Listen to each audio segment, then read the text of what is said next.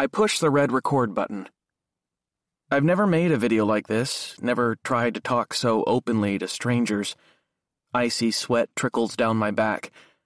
I don't know what to say or how to begin. My face beams back at me, pale and thin from the time I spent in the hospital. I wear a small white bandage on my forehead, and I'm still feeling the effects of the concussion. Bright lights make me wince like a vampire exposed to the sun. If I move too quickly, I get nauseated, and my ears won't stop ringing. It's time to talk. My phone is recording, and I can't just sit here staring. I almost turn it off, shut it down.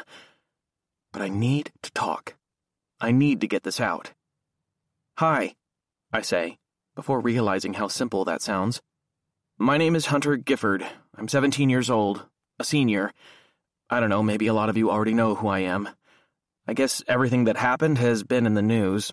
That's why I've stopped looking at my phone or talking to anybody.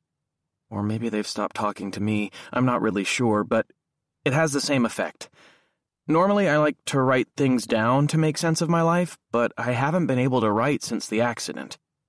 I just stare at the blank page and nothing comes out. So I decided to give this a try. I clear my throat and watch the red light. My face looks even whiter than when the video started, if that's possible. I remind myself to keep talking. I'm making this video because of all the things that happened that night, because of the accident, and because my girlfriend, Chloe Summers, hasn't been seen since then, a whole week ago.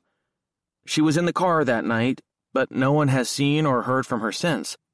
I guess I should back up. I think she was in the car that night. She should have been. We've been dating. We went to homecoming together. I try to swallow again, but I can't produce any spit. We went everywhere together, so I assume we left the dance together, but I don't know for sure. Because of the accident and what happened to my head, I see myself point to the bandage.